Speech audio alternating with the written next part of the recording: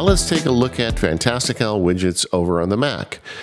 To get to widgets on the Mac, you can either click on the time or you can swipe on the trackpad from right to left with two fingers from offside. So I'll go ahead and do that. And you can see I've got two widgets here. I'm going to click the Edit Widget button.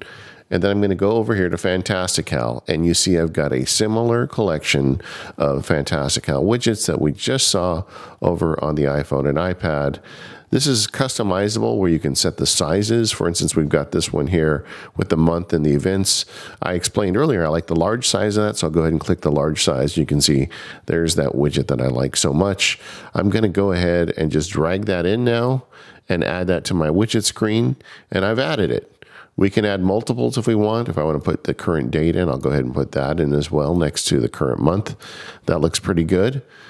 And when I'm done, I'll click off of that and you can make adjustments to these as well. If I just right click on it and click Edit Fantastical, then I've got the same set of options.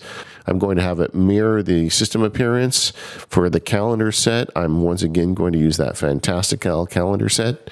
Uh, it's going to show all events, not just uh, timed events. And I'm going to turn the heat map on and show the weather. I think I'm good. Click Done. Just give it a second to update, and there's the new version. Looks really good.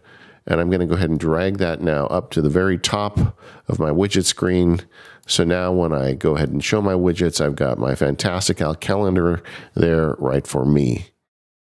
Whether you're using the iPhone, iPad, or Mac, the Fantastical widget system is powerful. Put it to use today.